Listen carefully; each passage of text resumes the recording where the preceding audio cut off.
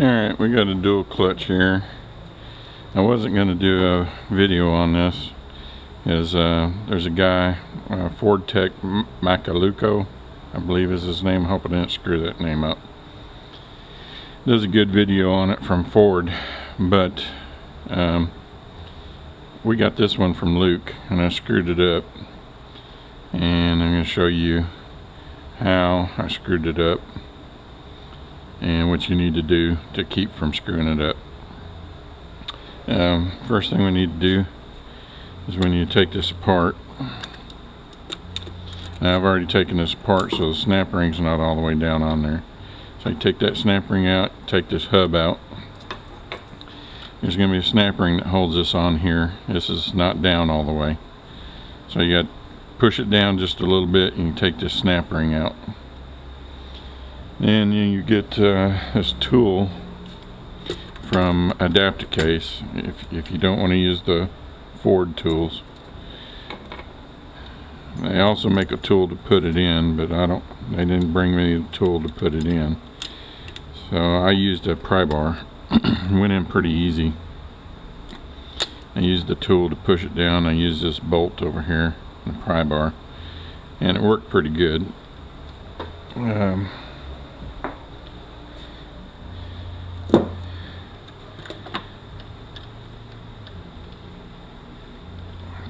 put this piece to push on it down in there. I should have put that first.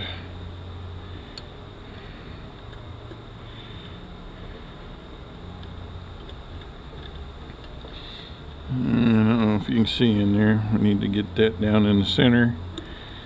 It's going to push this off.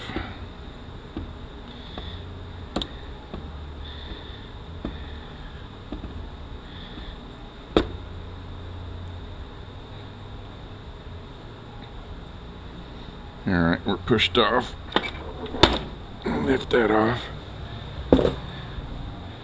You can pull your motors out of the side so that you can get these out. Now, found out from one of our other shops that you don't always get everything that I got in this kit, and that's where the problem came in.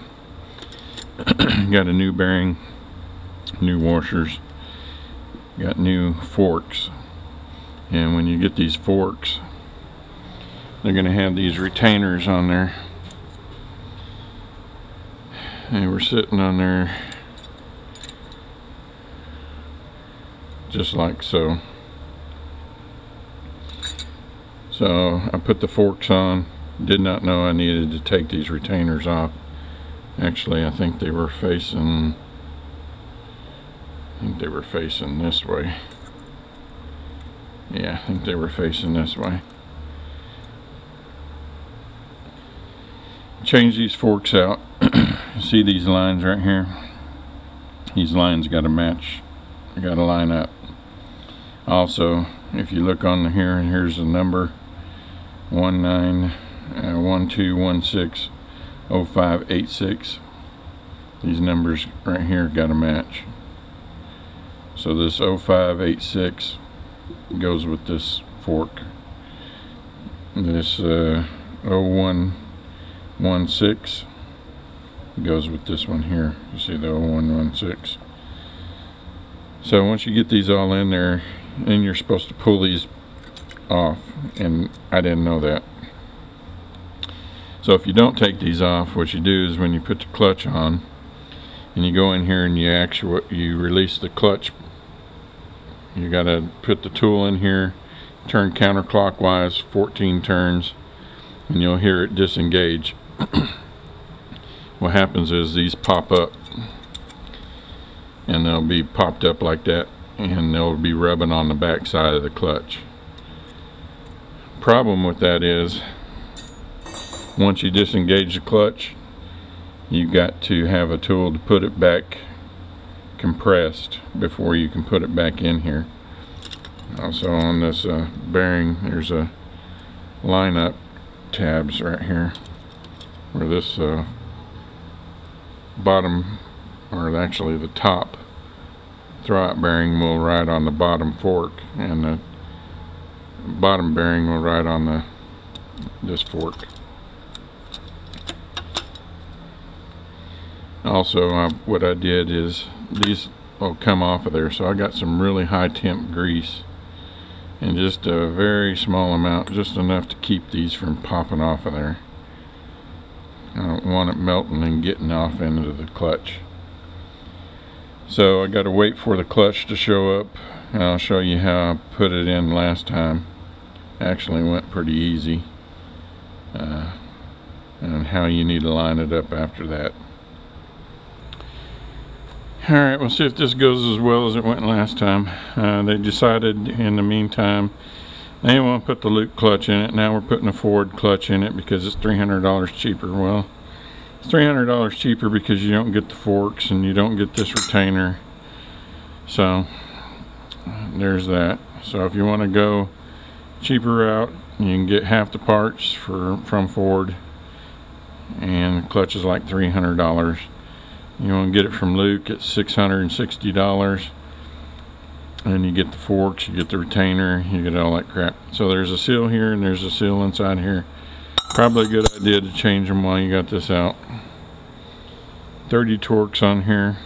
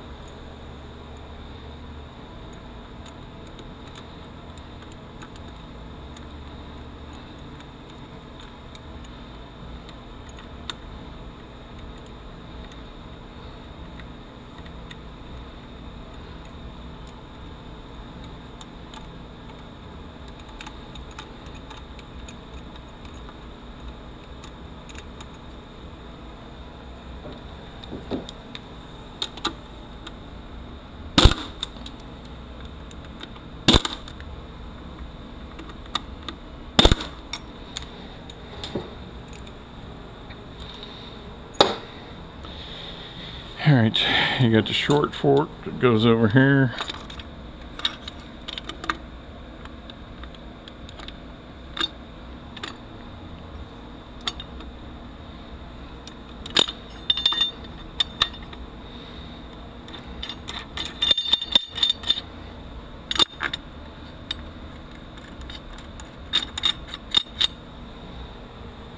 And let's see, where are my bolts? 45 Torx it goes on the fork itself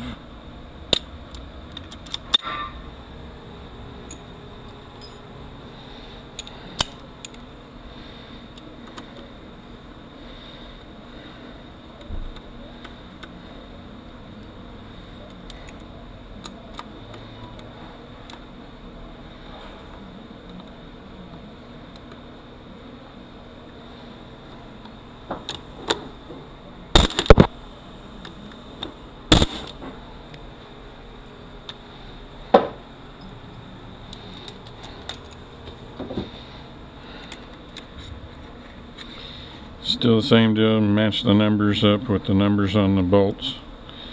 Line the lines up.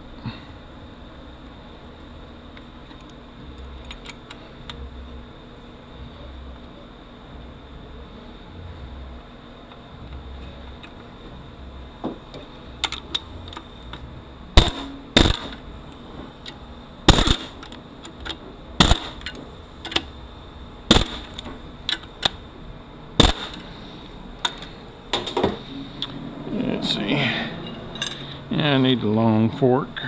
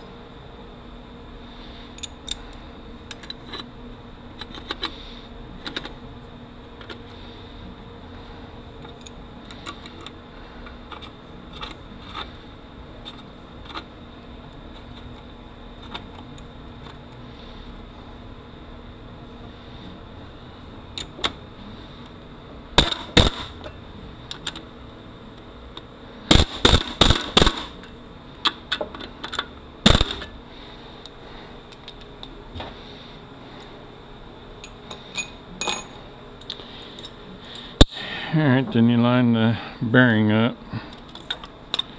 There's a couple tabs here that only go on the way it's supposed to go on. There we go.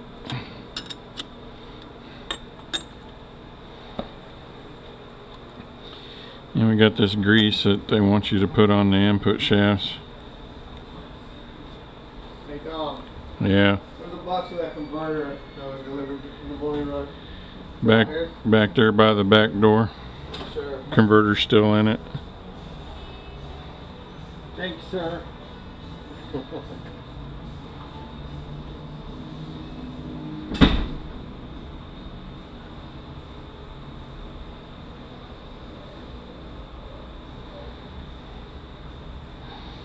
And like I said before, I'm gonna put just a just a dab on there. Help hold this, keep it from bouncing off when you're putting the clutch on.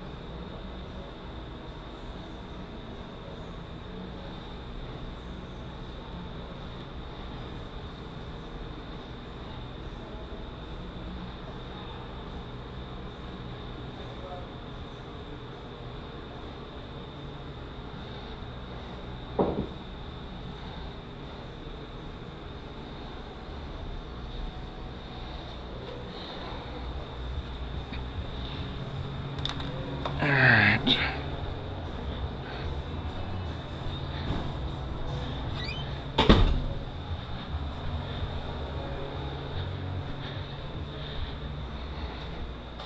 And I put this tool that you pull the clutch out with. I use it to lift the clutch in there. You're gonna start onto the splines.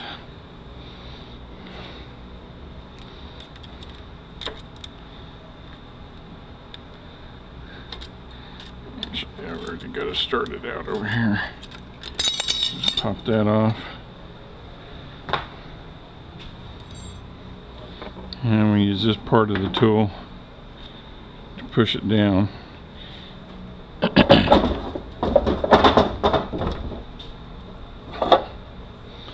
And I'm going to use this off the foot press over there and put that in there and push on uh, right there.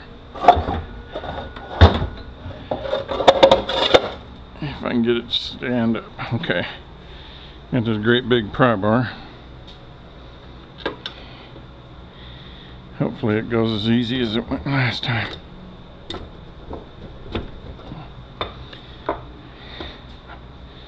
Yeah, it went pretty easy.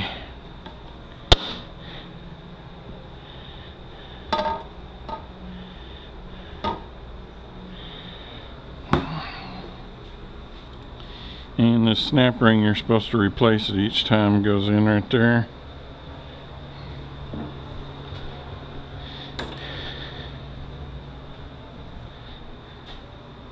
Taper up.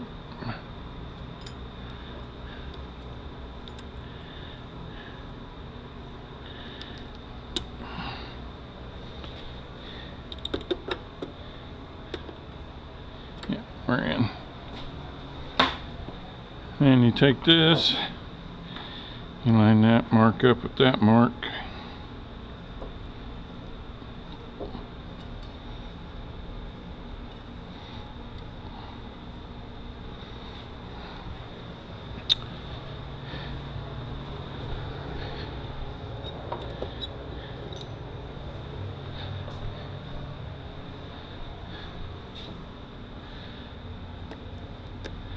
See if we can line this up a little bit.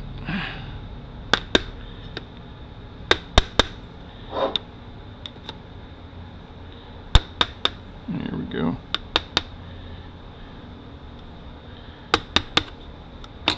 There we go. Got that mark lined up at that mark. Now this opening of the snap ring needs to go around that. There's a tab in there. And it's right there.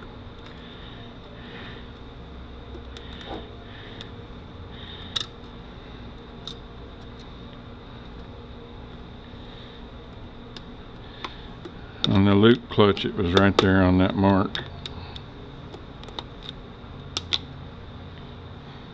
Well, don't want to pushing that snap ring out. All right, now we got that all set. Everything's free. God awful noises. Yeah, the way they've been doing this, they took an old motor and uh, using it to unlock the clutch. And it works, but it don't work very well. You're supposed to count 14 turns. This socket don't fit well. Let me see if I can put a pair of vice grips on it and see how that does. I still don't think it's going to work very well. Like I said, it does work.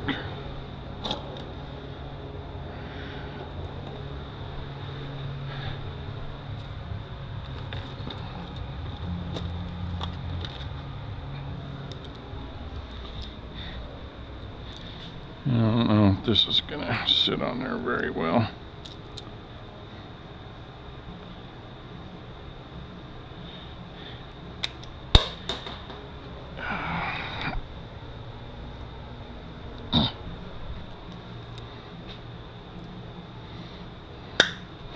We'll see how it does. You should be able to hear. One, two, three, four. You hear it disengage. Five, six, seven, eight, nine, ten, eleven, twelve, thirteen, fourteen. And there's the end of it. That went pretty well.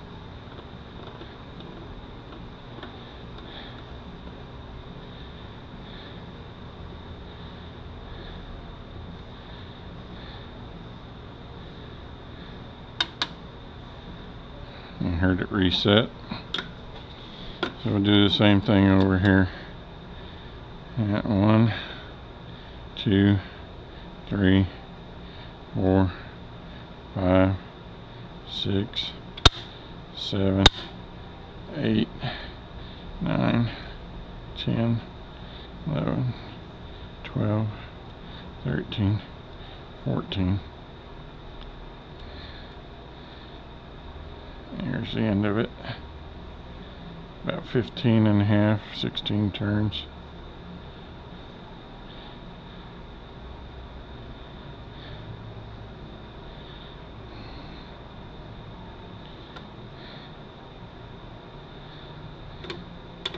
Yeah, heard it reset. Now it should turn.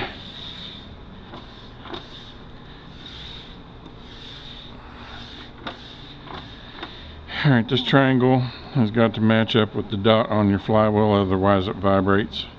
So I'm going to mark this so it's easy for them to see it.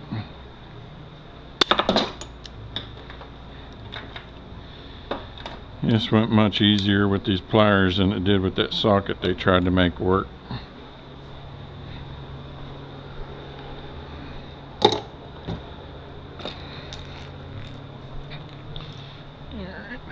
Mark this.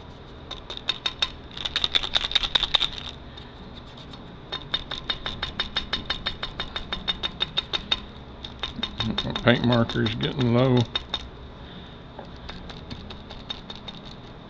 Oh, there we go.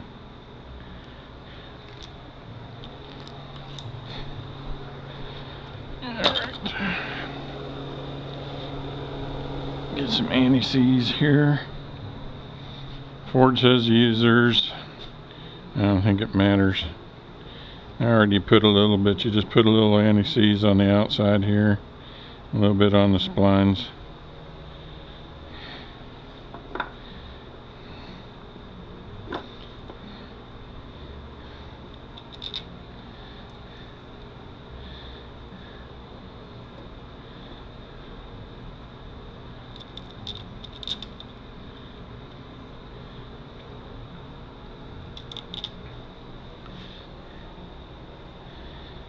Same thing on this one.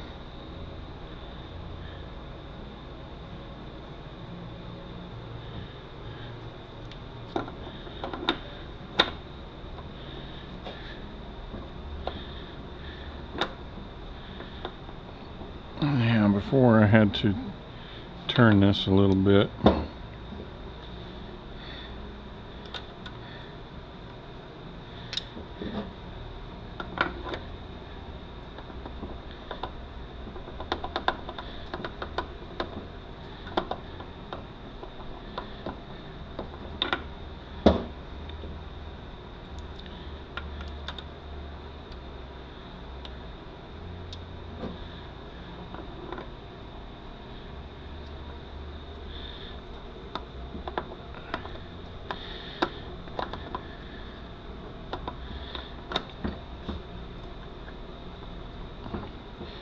There we go.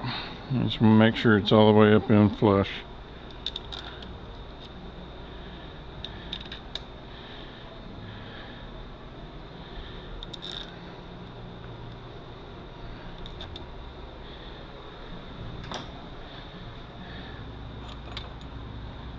Let's see, uh, it takes a smaller one.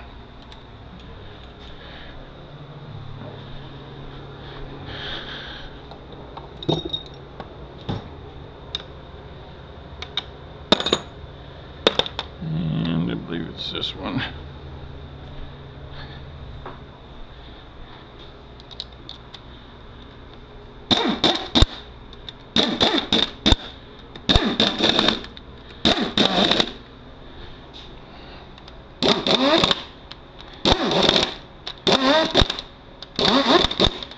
And there we go.